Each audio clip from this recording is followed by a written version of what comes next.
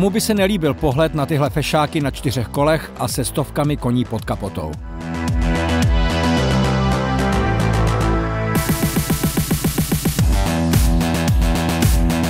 Je to tak, automobil už dávno není jen dopravní prostředek. Často je to i působivá demonstrace vyspělých technologií, svébytný umělecký předmět nebo hračka pro dospělé. Některé legendární modely dokáží dokonce vyjádřit i životní styl či hodnotová měřítka svých majitelů.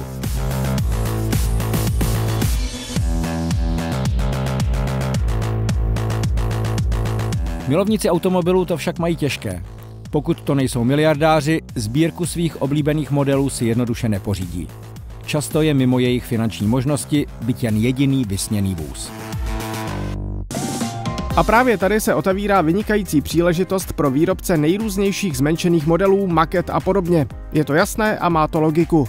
Přece, když už nemůžu mít model svých snů v garáži, proč bych si ho nevystavil aspoň v obývacím pokoji nebo pracovně? Modely automobilů Lego jdou v tomto směru už tradičně ještě o krok dál. Nabízejí nejen věrné a působivé repliky slavných vozů, ale především pocit, že vám tyto legendární modely vznikají krok za krokem přímo pod rukama. Model 911 je vůbec nejslavnějším typem, jaký kdy vzešel z automobilky Porsche. Její zakladatel Ferdinand Porsche, rodák z Vratislavic nad Nisou, které jsou dnes součástí Liberce, si nechal svou firmu úředně zapsat v roce 1931 a společně se svým synem Ferim v ní slavili takřka pohádkové úspěchy. To oni vyprojektovali ve 30. letech slavného brouka pro firmu Volkswagen a splnili tím Hitlerovo zadání na vytvoření vozu pro široké lidové masy. Daní již za to museli zaplatit bylo členství v SS, které dodnes kalí jejich skvělý technický odkaz. Ferdinand Porsche senior zemřel v roce 1951 a vedení jejich automobilky se sídlem ve Stuttgartu po něm převzal syn Ferry.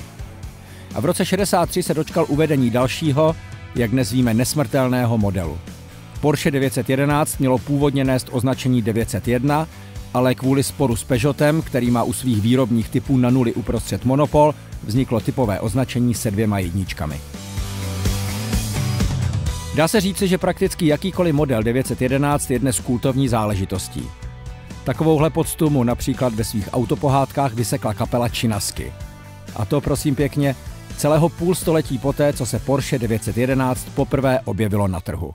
Budu hát, podvádět a dokonce i krást, dokud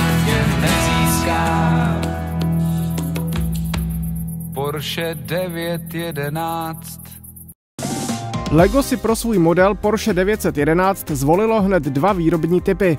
Fanoušci se mohou rozhodnout, jestli si postaví model Targa nebo Turbo. Oba se vyrábějí od druhé poloviny 70. let až do dnes a Lego si pro svou stavebnici zvolilo modely z přelomu 70. a 80. let. Model Turbo nabízí širokou zadní nápravu, zabudované přítlačné křídlo a k tomu navíc turbomotor s mezistupňovým chladičem. Model Targa se zase může pochlubit odnímatelnou střechou, která se vejde pod kapotu. A k tomu navíc kultovní karoserií Targa se zadním sklem za řidičem.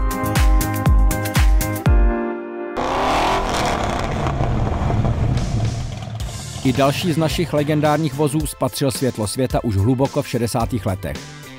Psal se rok 64 a automobilka Ford, jedna z nejtradičnějších amerických společností, založená už v roce 1903 Henry Fordem, představila svůj model Ford Mustang. Název navrhl jeden z jeho designérů, John Najar, podle stíhacího letounu P-51 Mustang, který užívali američané za druhé světové války.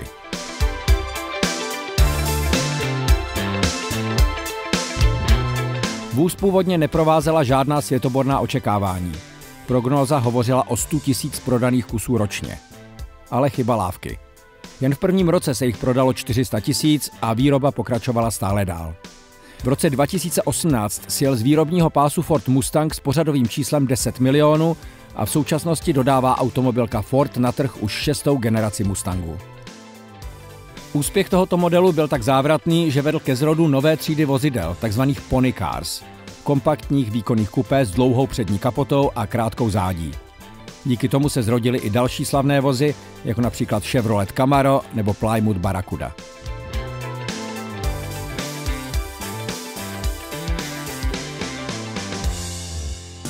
Lego nabízí skutečnou výzvu. Ford Mustang z roku 1967 s tmavě modrou karoserií, bílými závodními pruhy, křídlem na kapotě a pěti paprskovými rávky s přilnavými pneumatikami.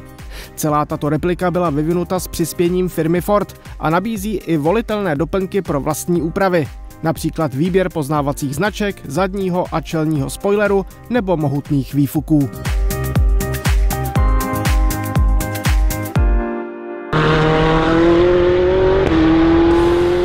Co by to bylo za procházku po slavných vozech, kdyby nebyla zastoupena značka Ferrari? Automobilku s černým koněm ve znaku založil Enzo Ferrari v roce 1947 a svět sportáků a závodních automobilů by bez ní nikdy nebyl tím, čím je dnes.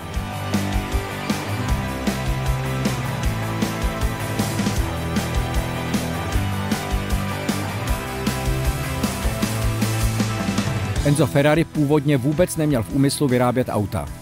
V roce 29 založil společnost Scuderia Ferrari určenou ke sponzorování amatérských jezdců a až do roku 38 pracoval jako šéf závodního týmu Alfa Romeo. Za války se jeho Scuderia změnila ve společnost vyrábějící stroje a díly pro letectví a v roce 48 pak přišel první skutečný závodní automobil Ferrari 125S.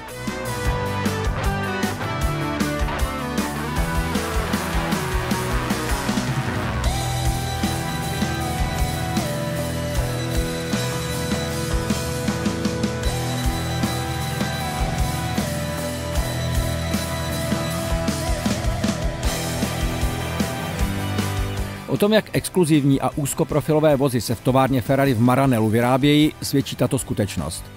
Za téměř 75 let své činnosti vyprodukovala automobilka kolem 200 tisíc vozů. A vzpomínáte, Mustangu od Fordu bylo jen v prvním roce dvakrát tolik.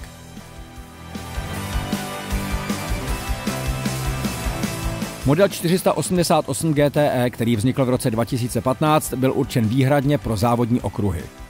Soutěžil v seriálu mistrovství světa vytrvalostních závodů v kategorii Gran Turismo. Odtud písmena G a T v jeho názvu.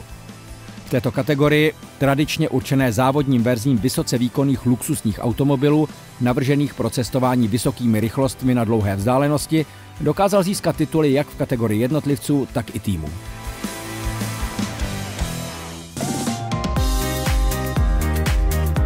Model tohoto vozu ve světě stavebnic Lego se vyznačuje opravdu vymazlenými detaily, které mu dodávají tu správnou autenticitu. Všimněte si, jak je například řešeno zavěšení předních i zadních kol, jak věrně působí otevírací dveře, volant anebo osmiválcový motor s pohyblivými písty. Všechno pak korunují originální samolepky a přesný odstín červené barvy jako hlavního poznávacího znamení většiny vozů Ferrari. Součástí sady je i knížka s exkluzivním obsahem, jako jsou informace o voze i týmu AF Corse 51, jehož outfit tento model nese.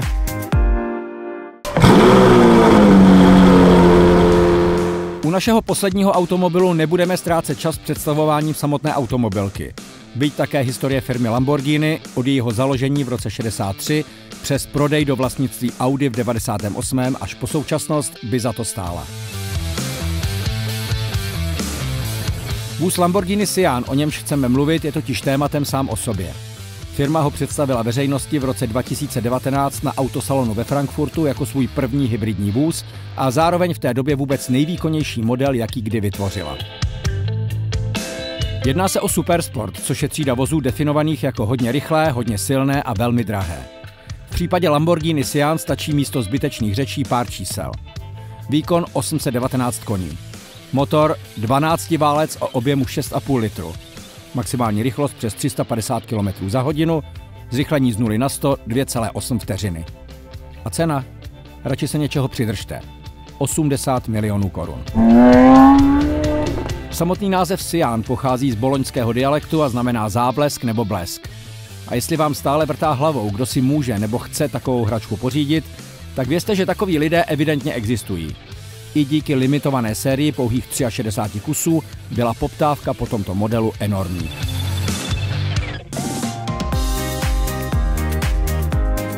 Stavebnice Lamborghini Sian z dílny Lego skvěle zachovává luxusní atributy vozu samotného. Díky nepřehlednutelné limetkově zelené barvě, zlatým rávkům kol a excelentně zpracovaným detailům je tento model skutečně dokonalou replikou. Jeho půvab spočívá v detailech. Najdete zde 8-stupňovou převodovku propojenou s pohyblivým řadícím pedálem, 12-válcový motor s pohyblivými písty a pohonem na všechna čtyři kola, můžete si otáčet volantem a vychutnávat odpružení předních i zadních kol. A samozřejmě nemohou chybět ani ikonické zvedací dveře. Celý set obsahuje také brožuru s návodem, obrázky a zákulisními rozhovory. A pod kapotou navíc najdete unikátní seriové číslo, jehož pomocí získáte přístup k dalšímu online obsahu.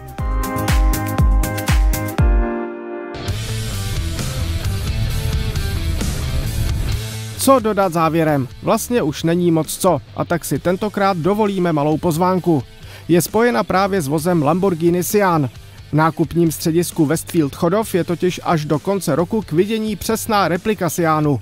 Na milimetr shodná s originálem. Je složená ze 400 tisíc kostiček stavebnice Lego a váží bezmála 2 a čtvrt tuny. Je to vůbec poprvé, co je u nás vystavena.